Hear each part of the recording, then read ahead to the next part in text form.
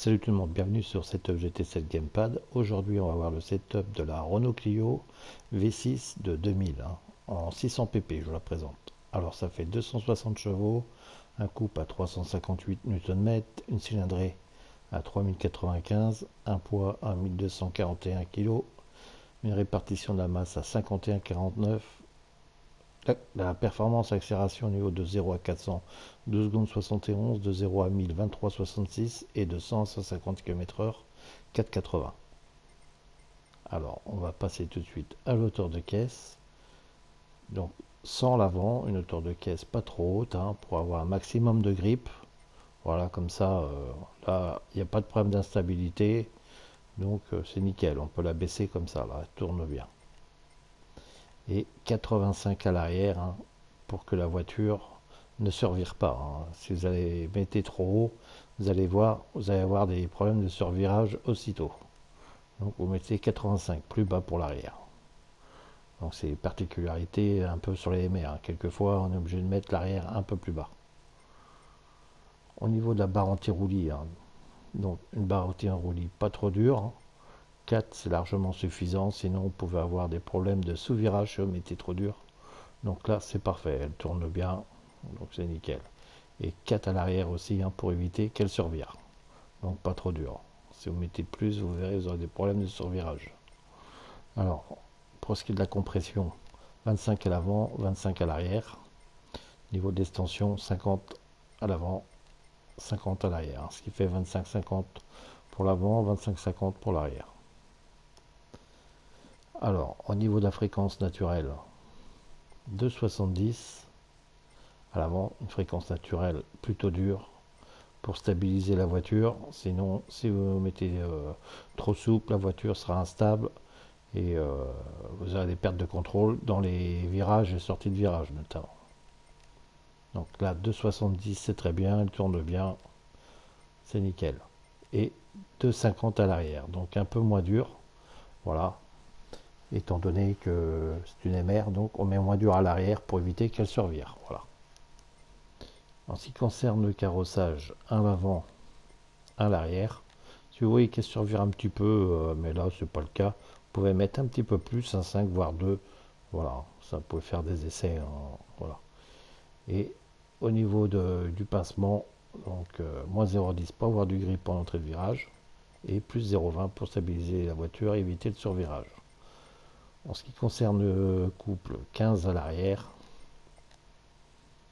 15 à l'accélération et 30 au niveau du freinage. Donc un freinage pas trop incisif non plus pour éviter qu'elle survire. Donc en ce qui concerne l'aéro, j'étais à 41 136 là. Donc après, vous pourrez voir ça hein, vous-même, euh, sachant que si vous touchez à l'aéro, voilà, hein, vous, avez dû vous apercevoir que ça change les PP. Donc après, éventuellement, il faut changer avec le raster de puissance ou le poids ou, ou un petit peu quoi avec l'admission et l'échappement quoi. Voilà. Pour tenir aussi son PP, euh, voilà. Donc c'est une petite parenthèse. Alors au niveau de l'écu, on passe à entièrement personnalisable. Donc vous achetez la pièce. J'ai ma manette qui déconne, excusez-moi. Entièrement personnalisable, 100%. Au niveau du poids, 200 kg. Positionnement du ballast, alors là c'est important. Hein. Moins 50, vous mettez.